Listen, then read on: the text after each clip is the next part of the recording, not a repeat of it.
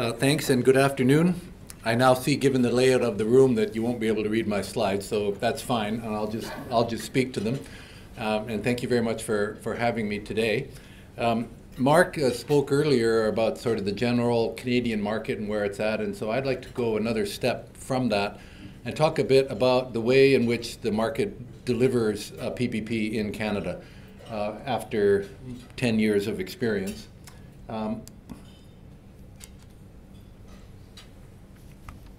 so I can't see it. Um, so generally in Canada, we have these organizations. Uh, there's 10 provinces in Canada and six have PPP programs. And they all have different organizations. I'm sure it's the same in Australia, that uh, we all have to do things differently in each of our little parts of Canada. And all these organizations, uh, they have a lot in common despite their differences.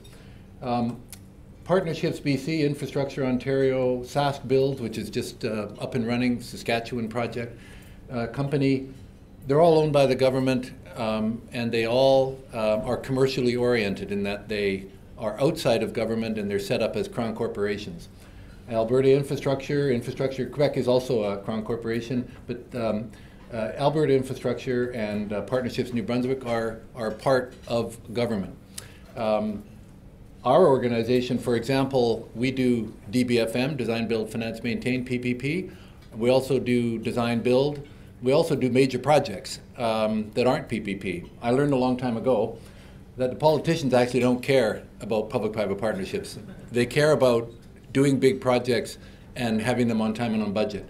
So, for example, uh, BC Hydro, a Crown-owned utility in British Columbia, they wanted to implement 1.8 million smart meters in every house in British Columbia for a total cost of about a billion dollars. That was a procurement that had a lot of hair on it, uh, a lot of political risk and a lot of financial exposure. And we took that project on and did it even though it had nothing to do with public-private partnerships. And it's just because uh, we could do something for our, our politicians um, while we did it. And in Canada, we have uh, uh, the federal government has PPP Canada, which is also a funding agency, and I'll, I'll come back to that in a second. So you can see here the, the extent of uh, involvement. You can't see here, sorry. There's a whole bunch of provinces and there's a whole bunch of projects, but it's just meant to show you uh, the extent of the sort of horizontal nature of the market in Canada. And, and some parts of Canada have, have not done any PPP and have no interest in going there whatsoever. So from the point of view of why do we do public-private partnerships, after 10 years, why do we do them? Like what is the bottom line on why we continue to do them in Canada? The first, the first ones are sort of the, how the politicians view it. And I, I'm amazed, like after my 10 years of involvement, how much the political people appreciate the planning discipline that goes into a PPP. We do business plans now that are 150 pages long. 10 years ago, they were three pages long. You know, we have so much more uh, work going into the planning process. Uh, cost estimates, line by line risk assessment. We learn so much about the project from doing the planning that helps us actually do the project. What risk should we transfer? What risk should we keep? We do it line by line. This costs money, and government is now used to spending a few million dollars at the beginning of a billion dollar capital project they're used to it now, and they actually really appreciate the rigor of this work. I that as a private sector guy, that surprised me. Um, and then, of course, the cost-effective risk transfer and the integration between design, build, finance, and maintain, the efficiencies of the private sector. Um, these are all now appreciated. Bottom line to most politicians in Canada is these projects are on time and on budget. And in fact, they tend to be earlier than budget because with private finance, the construction people have an extraordinary incentive to get done early because they don't get they don't get paid until they're finished and they've got outstanding capital. So we find that most of the projects are ahead of schedule and typically on or under budget. The bottom one here about effective long-term asset management, that's more for the government officials, I think, than it is for the politicians because it means if you have a, a project with a 30-year concession, that asset will be looked after for 30 years. And even if the politicians want to focus on capital projects and not maintenance, can't do it. So the, the assets end up being managed better, which ultimately lowers costs in the long run. A hidden benefit. So I know you can't see this, but this is uh, our value for money calculation. Everybody in, in Canada produces a, uh, a project report after each project is finished, and it presents why it was done as a PPP and what some of the benefits might have been, including a value for money estimate, which is the difference between the actual bid and the um, and the public sector comparator. So right across the country, we generate, we get value for money on every project. Interesting, every province has a different way of calculating value for money, so it varies, but it's always positive. Um, there hasn't been one yet um, that it's had to publish with a negative number. Some come pretty close. So I thought to, to explain the way um, the delivery model works in Canada, I just go through what I consider to be the success factors for a PPP program and then see how we do against those success factors. Why is that doing? Um, the first, of course, is political support. We all know that, and we've all got that. Uh, the second is uh, enabling policy or legislation. And, and as, as Mark mentioned earlier, in Canada, we have a capital standard. We have in British Columbia, we have a 300-page capital asset management framework policy to guide the government bureaucracy in, the, in doing major capital projects. I've never read it. What we have is a capital standard, which means if the project is, in our case, more than $50 million, you have to include a PPP in your business case. That is the hammer that motivates the government officials to do the proper business cases. And now, as Mark mentioned, right across Canada, almost every jurisdiction has a uh, capital standard. Um, and a focused planning and procurement agency, I think, is absolutely critical. Um, in every place in Canada, the procurement agency, whether it's a standalone or whether it's part of government, is cross-sectoral. Uh, as we look at the United States market evolving, where most of their PPP activity is in the transportation sector, and states are having a difficult time integrating their Department of Transportation with other areas of government.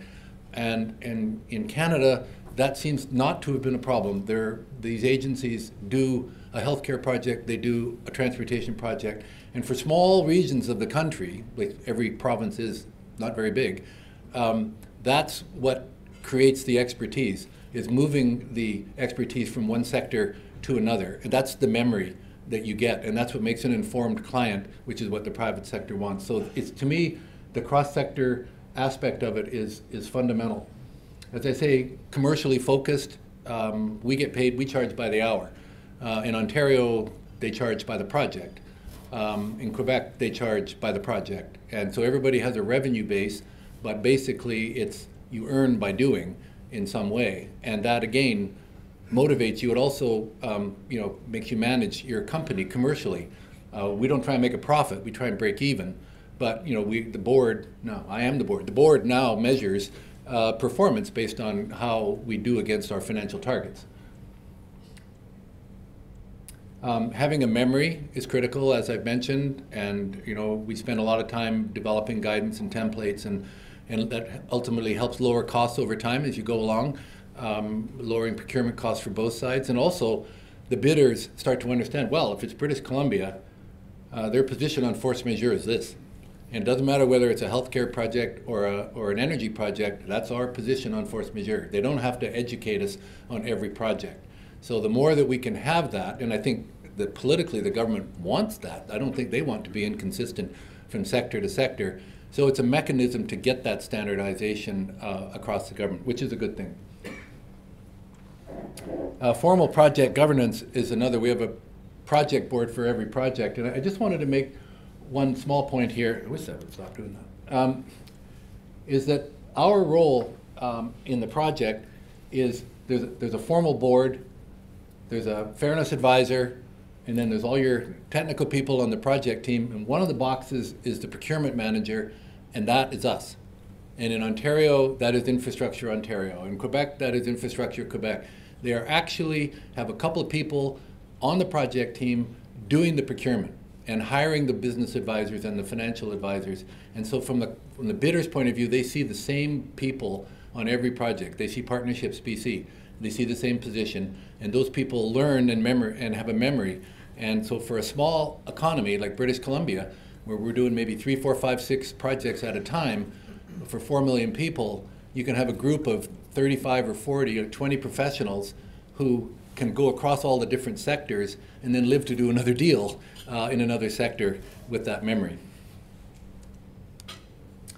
Uh, continuous program, heard a lot about that this morning. It's, it's critical to allow the bidders to amortize their activities over a number of projects. Um, a fair and robust competitive selection process. Emphasis here is on collaboration and so that you work with the bidders so that by the time they actually present their bids, they all bid to the same concession agreement and there's no comments in the margins. It's done. And that way there's no negotiation, which means the period that they have to hold their financial prices firm for you is narrowed down because there's no negotiating process. So bidders really appreciate that and it saves a lot of money if they only have to hold their, their financial spreads for, for 60 days instead of uh, 120. It's a lot better. Um, a discipline process and an evaluation process that motivates bidders. We've learned a lot about evaluation in a decade. Um, here's an example. Actually, um, I could use used a, slide that Plenary has on this, but I, I'll, I won't. Um, that the cost of a hospital, uh, the capital project is probably 10% of the cost of a hospital over 30 years. 90% of the cost is clinical care. So if we evaluate bidders based on the building that they're going to design, build, finance, and maintain, what about the 90% of the cost of the project that is affected by the building?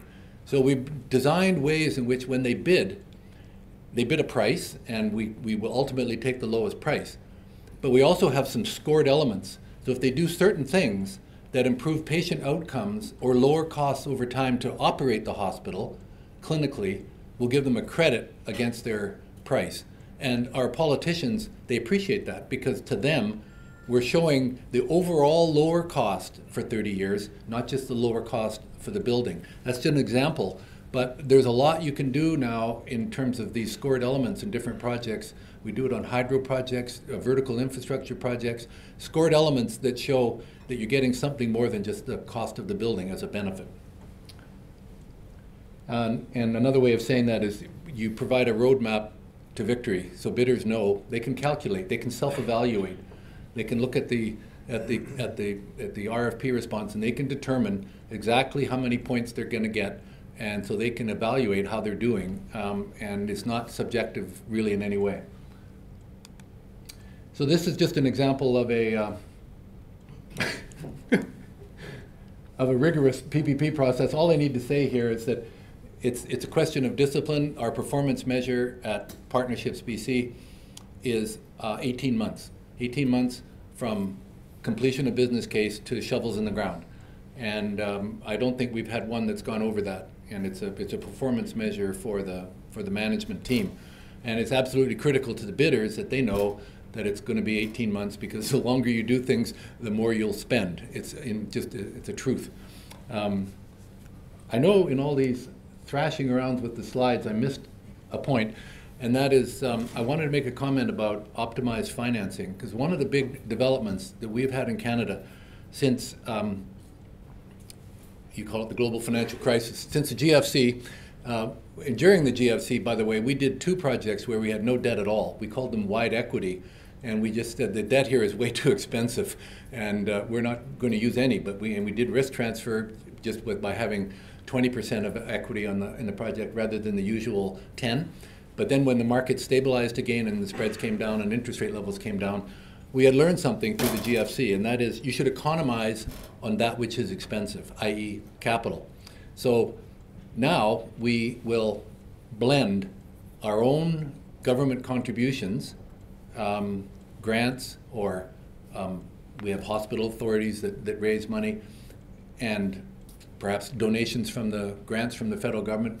We blend that with private capital, and so we ensure that we get all the risk transfer um, with the minimum amount of private capital, and that's how you can really expand your value for money. I, I think, at least in Canada, and if there's bankers here, please correct me, but I think there's a flaw in the market. And the flaw is that if you have a $200 million project and you have $200 million of private capital, with 90-10 leverage, you've got 180 million of debt, and then you reduce it to maybe 100 million of private capital for a 200 million dollar project, 90 million dollars of debt, the spread won't change. The credit rating won't change, and the spread won't change. And so you can actually get all the risk transfer on your 90 million and not have to pay for private capital for 180.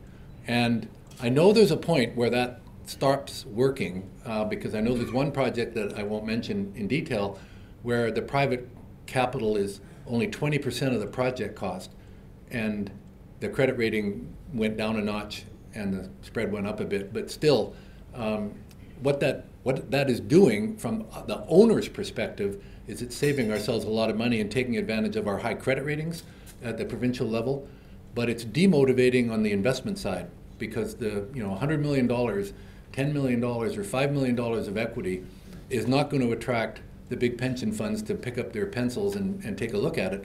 So it's changing the Canadian market uh, by this optimization process, and we have to be vigilant that that we don't overdo it um, because it works for us, even though it may not work as well for the private sector. So that's a really big change that has taken place in Canada over the last, you know, five, five, six years. This final slide, wherever it is, the final slide. Wow. The final slide shows the, the width of the program in British Columbia. So we're a little over 4 million person province, and um, we've done 35 projects in yeah, take it away from me. I've done 35 projects in, in 10 years, and we started in health and transportation, and we, we've, we've now done vertical infrastructure, university buildings, uh, social, social housing, wastewater, wastewater water. Uh, we're just closing tomorrow, well, tomorrow, Vancouver Day, um, we're closing the um, first power project, hydroelectric power project, billion dollars, um, it's a, a, a, an asset of BC Hydro, and we just got extraordinary innovation in our bids. I mean, it's it's just been amazing. These are such engineering intensive type projects that the risks and the, are huge, and the scope for innovation is so large that um, we, we got a solution which the engineers at BC Hydro, I mean, it was just not part of their thinking the solution that, that the, the three bidders came up with and the one that won the contest. So uh, it, that's been a real, um, a real win. Long-term care facilities, correctional facilities, sports centers, and some bio, some bioenergy projects that we're now working on. So by making the project, uh, making the, the, the, functions as wide as possible, having the most projects, you can increase your deal flow, increase interest in your market, and make the most of being in a small market. So I'll stop there. Thank you.